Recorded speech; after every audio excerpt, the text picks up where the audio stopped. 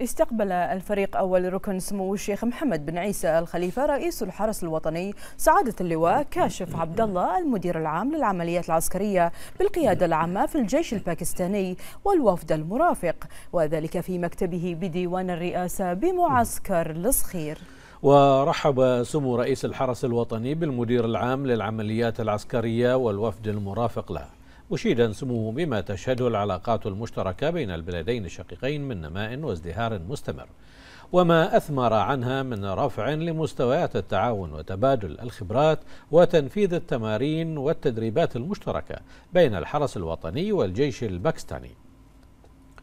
من جانبه عبر المدير العام للعمليات العسكرية عن شكره وتقديره لسمو رئيس الحرس الوطني على اهتمامه المستمر بتطوير مستويات التعاون الثنائية بين الجيش الباكستاني والحرس الوطني وذلك تأكيدا على عمق العلاقات الأخوية التي تربط بين البلدين الشقيقين.